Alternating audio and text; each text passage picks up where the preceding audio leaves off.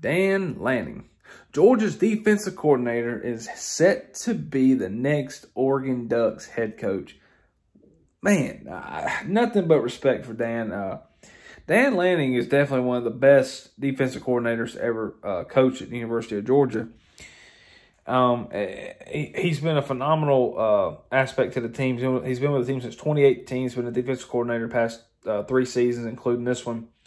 And he is going to be coaching to the playoff with Georgia. He's not going to Oregon, which is uh, good. I'm glad he's not leaving. Um, um, but yeah, man, uh, he's going to Oregon. That's crazy. That's that's a crazy job. Like, you know, Oregon. You think of Oregon, you think of all the uniform colors. You think of it's kind of a, a blue blood school. Uh, they're just a very popular place. Um, but they've not really accomplished much, and uh, they're just a popular place. And so I'm happy for him. I knew this. I knew this was coming. I knew somebody was going to get Dan. I was hoping it wasn't going to be nobody in the SEC. Um, but I'm happy for Dan. I mean, the dude deserves it. He has balled out uh, all the years he's been a defensive coordinator. Now, how? Now, the only thing that might be uncertain is how much of that was really him or Kirby. Because Kirby is, you know, him and Dan were always side by side on the defense on the field. So we're going to find out how Oregon plays, how he can coach them up. Um, and the thing that's exciting is Georgia plays Oregon next next year in week one. That's the exciting part. We're going to see Kirby versus Dan in week one. Um, so we're going to, I think it's going to be interesting. Now, uh, will Georgia lose that game? No, I don't think we're going to lose to Oregon. But uh, it's going to be a good game though, and I'm I'm interested. I'm looking forward to seeing that game now because now it has like a little backstory to the game. Before it was just Georgia and Oregon. Now it's Dan versus Kirby. So be interesting to see. Um, yeah, you know I, am happy for Dan. I'm happy he uh is his first head coaching job. He's been a graduate assistant, um, an analyst. This was actually his first uh, he was a coordinator or a co-defensive coordinator, I think. He's been in a couple places. He's been at Arizona State. Uh, he was at Pittsburgh. He was with Alabama 2015 as an analyst. He's been he's been a bunch of little like he's been a couple big name schools, but doing small jobs. Um, but but yeah, you know, it's his first head coaching job, and it's Oregon. That's a big time. That's that's a pretty good first head coach job. Like, I mean, you know, most most time, most of the time, head coaches start at a small place or a no-name place, and they work their way up. Um, like Nick Saban, for example. Nick Saban started uh, college coaching. Was it Louisiana Lafayette or it wasn't it? Uh, wasn't it? Wasn't it one of the small schools? I'm probably I'm probably completely wrong. Um, he Nick Saban started at a small school. Um, I don't think it was Louisiana Lafayette. I, I, it might have been. I don't know. I think it was. I think it was. He was at a small school and he made his way up. So for you know, and, and that's incredible for Dan to start there. I hope Dan has success. This is for his first head coaching job, so be interesting to see what happens. Um, hopefully he don't pull no Georgia recruits, and I don't think he will because I think the majority of the recruits are going for Kirby instead of Dan which is why I'm glad we have Kirby for that reason. Because Kirby draws recruits, and I don't know how much Dan uh, draws recruits. I don't know. Like I said, uh, he's he, he's an awesome guy. I mean, a super talented uh, coordinator. But uh, yeah, it, it sucks for losing them. But that's what happens. I mean, when you have a good team, I mean, you're going to lose coordinators every couple of years. You know, we lost Mel Tucker in 2017 after the national championship year. Uh, we played Alabama in the Natty that year that was his final game. So um, he went to Michigan State, and now he's the highest uh, paid head coach, or one of the highest paid head coaches now.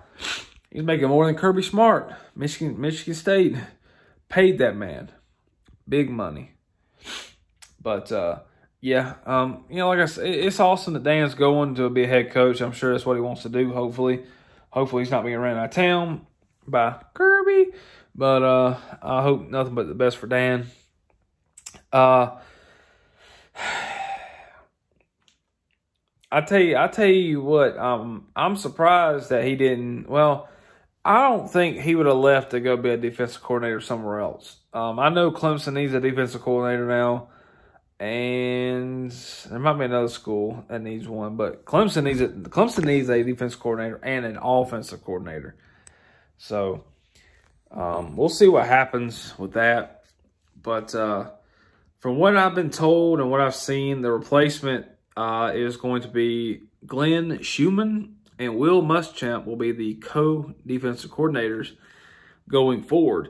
Now, I don't now I read that like they're going that's going to be the co-defensive coordinators next season because Dan's in the playoff. He's going to be coaching the playoff.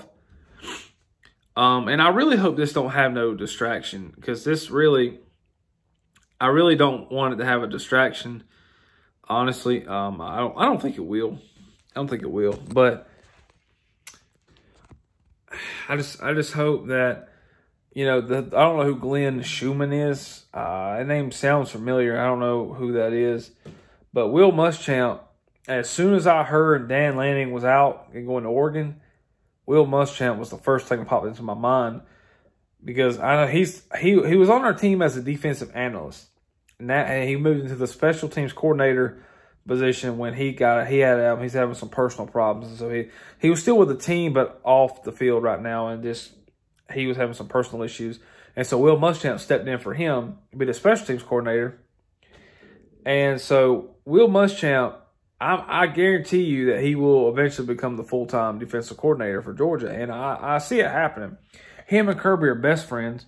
Kirby brought him over when he got fired by South Carolina. And don't get me wrong, I know people might be thinking, oh, Will Muschamp's garbage. No, he's not. He's a garbage head coach but defensive coordinator, you, you look at when he was at Florida, and South Carolina, their defenses were always top 15, top 10 defenses. And that, those two teams, when he was there, were not the greatest teams. They weren't. I mean, they didn't have the greatest offenses, or they. I mean, they they they just weren't the best teams when he was at Carolina them two years, three years, and in Florida them couple of years. So he's a great defensive coach. Um, but the Glenn Schumann, I might not even say his name right. Um, I'm not too sure who Glenn Schumann is. He that name sounds really familiar. I, is that the special teams coordinator? I, the one that was out? I don't know. No, I don't. No, no, no, that's not him. I don't know who that is. He, but it said the article said those two will be the co-defense coordinators moving forward. So I'm like, does that mean next season? Like, are we not going to hire a defensive coordinator? Like, or is that going to be through the off season until we get one? Because I don't want a co. I mean, I don't. I don't. I've never. We've never had co-defensive coordinators. I don't think. So I'm interested to see uh, what we're gonna do with that. But uh, yeah, Will Muschamp. That was the first thing that came to my mind when I heard about Dan Lanning leaving. Was Will Muschamp's probably gonna get the defensive coordinator job? And I think I think that's kind of what he was waiting on too to pop up because he knew Dan was eventually going to leave. I mean, that's what happens when you have a successful defense. Like when, when coordinators are successful, they get looked at. And so Dan, this is his first time getting looked at as a head. Now, he did turn down a job last year. He turned down the Texas job. Now, I'm sorry that I can't remember it, but it was either the Texas head coach job that Steve Ar uh, Steve Artesian Artesian took, whatever his name is, Artesian. Steve Sarkisian, his job, or the Texas defensive coordinator job. He turned down one of those two. He was offered one of those. They offered Dan. I, I want to say he turned down the Texas head coach job. I want to say he did. Um, probably a good thing he did because Texas is kind of a dumpster fire. But Oregon, on the other hand, um, he has potential. Um, I'm hoping nothing but the success out of Dan. He's going to the Pac-12, uh, a conference that really doesn't get a lot of hype and you know not a lot of attention. And maybe he maybe Dan could take over the uh, Pac-12. He might could do it. I don't know. I mean, he's a defensive guy. If he can make a defensive, if he can make a defensive team in the Pac-12, it's pretty might be pretty successful. But you got to have some offense too. But um, you can't be one dimensional. But anyway, congrats to Dan. I'm happy for the guy. He's been awesome at Georgia. It sucks he's leaving. But, uh, man, I wish him nothing but the best. I hope he's at Oregon for a long time. I hope he wins him some some Pac-12 titles, and uh, hope he, hope he might, might get him to the playoff. Who knows? But uh, be interesting to see what happens next year because Georgia does play Oregon in week one next year. But that's all for that. So hopefully, uh, hopefully old Dan don't beat us next year. And go dogs. Peace.